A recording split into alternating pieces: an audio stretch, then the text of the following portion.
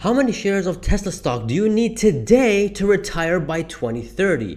Update video. That's right guys, this is an update video on the first one I've ever made. If you guys haven't watched it, check it out. But sheesh, it did pretty darn well. I think he got almost 250,000 views like sheesh that's absolutely insane. But this tells me that there's a lot of investors out there who's going all in into Tesla stock like I am. So it makes absolutely sense why they would find this video very very intriguing and interesting. But in this video we're gonna do an update on that because you know it's been like seven eight months that I've done that video and a lot has changed. For one we had a three for one stock split and we have more information on Tesla on how they're gonna end off this year. It seems very promising and you know we're going to the flipping moon with Tesla stock. So that being said, how many shares of Tesla stock do you need now to retire by 2030? We're gonna find out in this video. But before we do, there's a few ways you guys can now support the channel. You guys can now join the channel and unlock some cool perks like emojis and membership emblems next to your name. As well as we got merch. We got the Go All In t-shirts, sweaters, mugs, and I'm wearing one right now. Go All In, yeah as well as a Discord coming soon. Comment down below if you guys are down if we had a Discord going on. I think that'd be pretty darn awesome. But anyways, guys, link of the merch in the description and link in the card in the corner. All right, enough to chatting now. Let's get down to the video. But first, have you smashed that like button, man? Come on. And the subscribe button? Come on, man. All right, let's go. All right, so before we get into the chart and number, there's a few things you gotta know. In the previous Tesla retirement video that I made, we said that by 2030, you need about $850,000 in cash to retire by 2030, so you can put that money in the S&P 500 and enjoy the 7% return annually up until, I don't know, for the next 35, 40 years. Well, in this video, we're gonna change that and be a little bit more realistic because I don't think $850,000 by 2030 is really enough, but just enough to get by. So in this video, we're gonna do a little bit of a modification to be a bit more, I guess, realistic, you can say. So let's do that first. Quickly going over it today, if you're living alone in like an apartment or a condo, we need about $3,200 a month to pay your bills and you know to get some groceries so pretty much living paycheck to paycheck not having any fun with your life you're just living to work that's it pay your bills, get your groceries, eat, sleep, repeat. That's it. Now don't worry guys, this is the base number that we're gonna work with. We're gonna, you know, increase it as we go forward. Just hang on there. $3,200 monthly comes down to about over $38,000 annually, which is like absolutely like, sheesh, you know, like just 10 years ago, this number was, you know, if you were making this much money, you were well off. You were doing pretty darn well, but now, thanks to inflation, it's a nothing. But giving this $38,400 annually or 3200 bucks monthly, a 5% inflation rate every single year, we get about 4,600 bucks per month. I chose 5% guys because this year inflation is just gonna, I think, we have a few more months to go with high inflation, and I think if we just go ahead and average this whole decade by end of this decade, it'll be maybe around three and a half to four percent. But let's keep it more conservative and say five percent. That's why I put it as five percent. It's a wild decade, man. I'm telling you, like sheesh, it's pretty darn wild. But man, that's crazy. 3,200 bucks a month is now going to be worth 4,600. I mean, 3,200 dollars today for paying rent and living paycheck to paycheck is gonna be about 4,600 dollars by 20. I mean, that's just insane, man I mean, Jesus Christ. And that's why, folks, you never want to put your money in the savings account. It'll just be dried up just like that. Your money just gonna be eaten away by inflation. That's why you get invested in the stock market, real estate, precious metals, even crypto, really. I mean, anything. Just cash is trash most of the time. It's only good when you're saving up to invest into something, but it's not good to save up to retire. A terrible idea. So $4,600 a month adds up to about $55,000 annually. So shh, we went from $38,000 to $55,000, the same thing, all thanks to inflation at a 5% rate.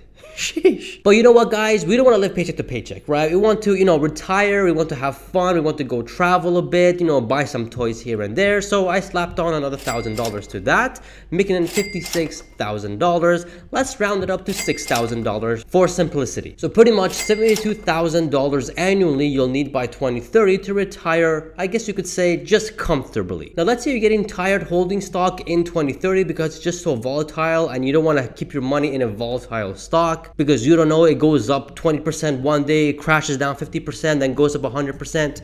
Welcome to Tesla stock. That's what it does. But let's say you're getting tired of that. And let's say you decided to sell your entire Tesla stock position and you want to put it in the S&P 500, which gives about 8 to 10% return annually, but let's say 7% just to be safe. Some years can go down 10%, some years can go up 30%, then down 50%. But if we look at the 100 years of the S&P 500 history, it gives about 8 to 10% return annually. Now, a number that you need to pull out of Tesla stock to invest in the S&P 500 to, you know, live off of it for the next 40 years at a 7% rate needs to be around $1 million. Sheesh.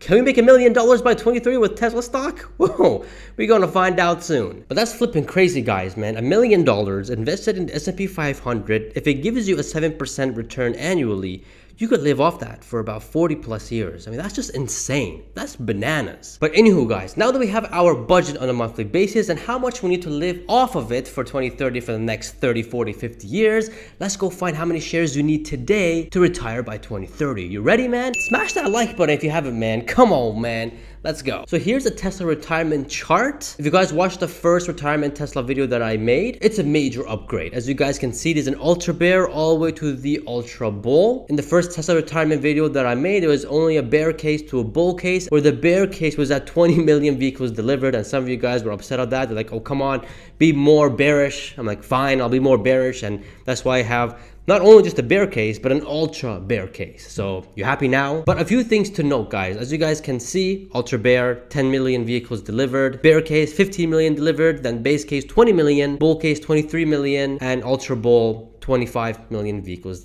delivered. Right off the bat, you guys may notice the FSD price is going to be around 30, almost 30K per vehicle. Some of you guys may say this is unrealistic, but look what the price is now. It's at 15,000 per one-time fee. So we're saying by 2030, right, it's, it's gonna be double. And we're only like seven years away from 2030. So I don't think this is unrealistic at all. 15% range for the vehicles with FSD in the thousands. So pretty much every vehicle that Tesla sells, 15% of it will have FSD that pays the one-time fee. Now, obviously, this needs to be updated, but there's no accurate number with Tesla that we can rely on at the moment. I know end of this year, they said that they're gonna have a million robo taxis by year end. And we know that Tesla has about just a little bit over 3 million vehicles on the road. So that's a 33% increase. And that's just this year.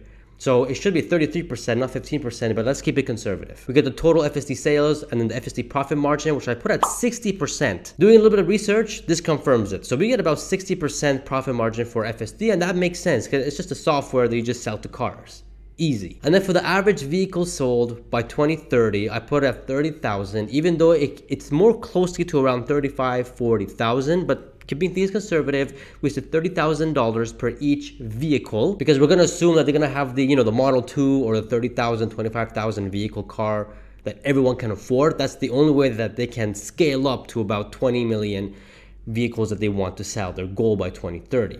So keeping at 30,000. We got the total revenues as you guys can see here for all of them. What's surprising about this is that in my other Tesla stock price video by 2030, we do hit about a trillion dollars in revenue. But because this is a different formula and trying to keep things a lot more conservative, we don't even hit a trillion by 2030, even with the 25 million vehicles sold and with FSD. So that's kind of surprising, but the net income is absolutely insane. As you guys can see, 110 billion on the ultra bear case, which is absolutely insane, to the ultra bull case, almost reaching one third of a trillion dollars. So that's absolutely insane. Note guys, for the net income, I said that they're gonna make 25% for every vehicle they sold. So I'm going on a 25% basis, which most likely it'll be 30%, but let's keep it a bit more conservative and let's say 25%. For the shares outstanding, I said that from now till 2030, they're gonna dilute 2%, even though that's not gonna happen. I think in the next couple of years or so, they're gonna do a buyback program and we will never see 3.6 or 3.7 billion shares outstanding. It's just not gonna happen. But keeping things conservative, I even added here as well. And as you guys can see, the EPS is here too. And I gave it all a PE of 35, which some of you guys may say it's silly by 2030. But then keep in mind, guys, this is only the vehicle and a little bit of FSD. There's no Tesla bot, no robo taxi, no insurance, Tesla insurance, no energy output, none of that. It's just vehicles and FSD. That's it. If you guys want to see the full breakdown of that, a Tesla stock price prediction that includes all of it, check it out. It's pretty darn interesting. So now we gotta move on to the stock price. If you guys are ready, man, if you guys are ready to see what the stock price could be by 2030 from the Ultra Bull case, to the Ultra Bear case, smash that like button, man. Why haven't you smashed that like button? Come on, man.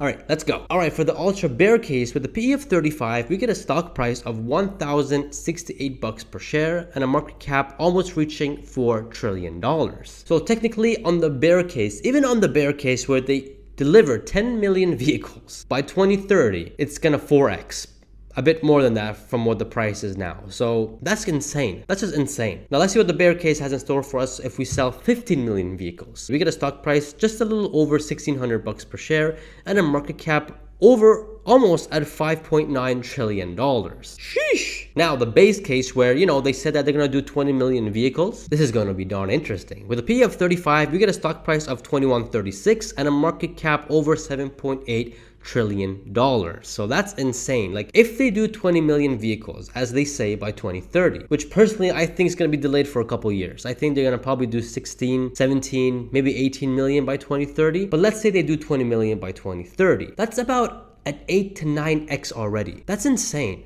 That's absolutely crazy. Sheesh. Moving on to the bull case, if they do 23 million vehicles with a 35 PE, we get a stock price of 24.56 and a market cap hitting over 9 trillion dollars. Like that's absolutely crazy. Sheesh. And the Ultra Bull case, which I don't think this is gonna happen by 2030, but hey, we're just playing around with some numbers. Let's see what we can get from this. With a PE of 35, you get a stock price of 2670 and a market cap almost hitting 10 trillion dollars. Like that's insane. That's insane. So right off the bat, guys, I don't think Ultra Bearic is going to happen, nor do I think Ultra Bull is going to happen. So it's literally narrowed down to 15, 20, and 23. I'll tell you guys what I think at the end of this video, what I think possibly could happen by year end. Now, the juicy part, the moment that we all been waiting for. How many shares do you need today to reach that $1 million mark by 2030 so you can take that money out and put in the S&P 500 which by the way I wouldn't recommend that. I would just continue to hold Tesla but we're just keeping things simple and safe. But let's get down to it. Let's see how many shares you need today so you guys can retire by 2030 and don't forget to smash that like button. All right let's go. In the ultra bear case given the fact that the stock price today is 270 bucks per share you need about 936 shares right now. I mean that's a lot of money. That comes down to a quarter of a million dollars. I mean Sheesh. But again, this is the ultra bear case. I don't think that's going to happen. I mean, come on, guys. 10 million vehicles delivered by 2030. I mean, come on. It's going to be a lot more than that. But anywho, moving on to the bear case, which I put 15 million vehicles delivered. The shares that's needed today to reach that 1 million mark at a 15 million vehicles delivered, we need about 624 shares today, which that would be about almost $170,000, which again, it's not pocket change, I mean, but it's a whole lot better than the quarter of a million dollars invested that you need by the Ultra Bear case. So 168,000 not bad, not bad at all. Moving on to the base case, let's say they do do 20 million vehicles, they do deliver that much. The shares we need now in that scenario, we need about 468 bucks per share, which is valued about over $126,000. I mean, hey, better than 168,000, right? Sheesh, just look at it. From Ultra Bear, we went down from 936 to 468, like almost halving it. So Nice, and we're not even done yet. Let's go see what the bull case says if we do sell 23 million vehicles. In this scenario, we need about 407 shares today, which that comes to a price of almost $110,000. So that's not bad. That's actually really good. That, that's doable. If you guys can be disciplined, strict with your money, put it into a nice account where you can't touch it, so you can't play with it, it's doable. It really is. I mean, if I can do it, guys, you guys can do it too. You just gotta be disciplined with your money. That's all. Easier said than done, but it's very, very doable, very possible. Now, the Ultra Bull, which again, I don't believe that's going to happen, but maybe the stock price could happen if we add in the other things, like, you know, the Robo Taxi, the Tesla bot, Tesla insurance, energy, you know, all those things. Maybe the stock price could be this if we add everything else. But let's stick with this scenario and let's see what we get. The amount of shares needed now in this scenario is about 375 bucks per share and that's valued over just about $101,000. So sheesh, look at that. We went down from quarter of a million all the way to $101,000. Let me know what you guys stand. Comment down below which scenario you guys think is going to play out the most. I'm curious to know. But if you guys are curious to know what I think, well, buckle up because it's gonna get interesting. Let's rule out a few things first. Ultra Bear and Ultra Bull, it's not gonna happen.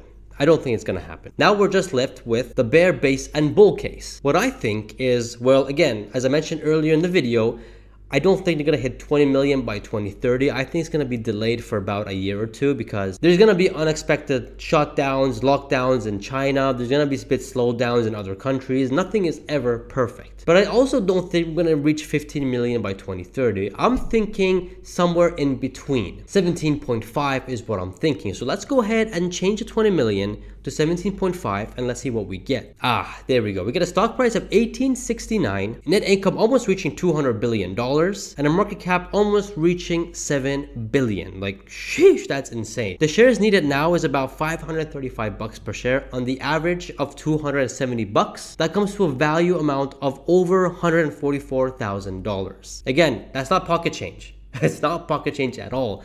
But as I mentioned earlier, it's doable if you guys commit yourself, be strict with your money, and just have patience, man. The best thing to do in the stock market is patience. If you bought Apple 15 years ago and did nothing, when you bought at the peak of 2008 and you ride it out and then you rode it out in the 2020 crash, you would be up like 15x and you didn't have to do anything. Nothing. That's investing, guys. That's investing. You invest in a company that you believe in that's gonna do great in the long term. And then when a recession hits or there's massive red days like there are today, those days are just a buying opportunity. I've done quite a bit of buying in the past couple of days, and most likely the stock price will go lower. Check out the video if you guys haven't to see how low I think it's gonna go. But I really think in the short to medium term, Tesla, not just Tesla, the whole stock market is gonna take a hit. The macro environment sucks interest rates, wars. It's just not a good time right now. But these are the days for opportunity. These are the times to buy your favorite stocks. Don't let your emotion of fear get to you because in the next five years from now, 10 years from now, you're gonna look at Tesla stock price today and go like, wow, it was really at 270 bucks per share. Come on. And you and you would feel terrible that you didn't buy some shares. But again, guys, I'm not a financial advisor. I just do my research and I know Tesla's gonna do amazing in the next 10 years. And that being said, I'm going all into Tesla stock. 90% of my entire portfolio is Tesla stock because I think it's the most risk adjusted stock and the, probably the most safest stock you can buy now. One major thing that I wanna point out that some of you guys are not seeing is that the Russian economy right now is taking a big, big dive. Those existing companies in Russia are taking a big hit whether they're leaving or they're not getting enough business or they're just not performing well at all.